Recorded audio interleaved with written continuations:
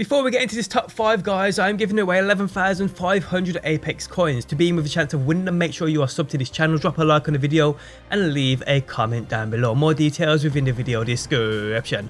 What is going on guys? Welcome back to the channel and I appreciate you being here. Today I am back with another Apex Legends top 5 plays. And today we have top 5 ultimate and ability plays. But before we go any further guys, if you do enjoy the video, leaving a like really helps out. And if you have any amazing clip you think is worth sharing with the world, send it into the email address linked at the top of the video description. But let's get straight into this top 5. In at number 5 we have a clip sent in by Arco Flames, using a Wraith's ultimate to outplay a team who think they have the upper hand.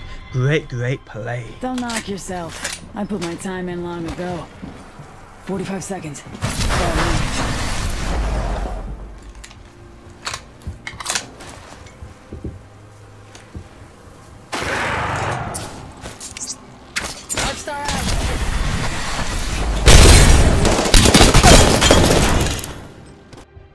In at number 4, we have a clip sent by Lieutenant Royal Shrimp, using the Mirage's decoy to absolutely waste somebody who started the gunfight. Wow, I would be ashamed of myself.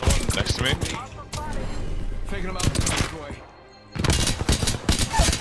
Yo! Perfect example of decoy. Did you did you did you kill him? I did. In at number 3 we have a clip sent by War Seaback, using Wraith's Into the Void ability to get behind the whole squad like a boss and just wipe them out. You're in a hot zone. Going to phase.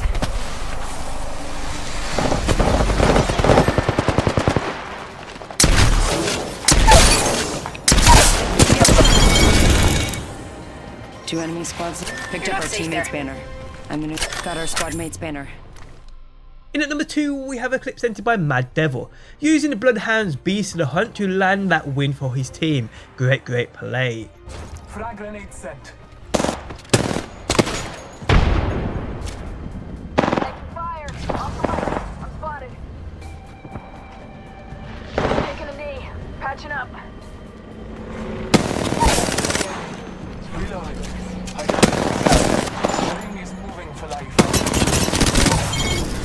In at number 1 we have a clip sent by Radioactive Skies, using his teammate's perfectly placed Dimensional Rift to flank the enemy team to get that win for his duo squad. Amazing play.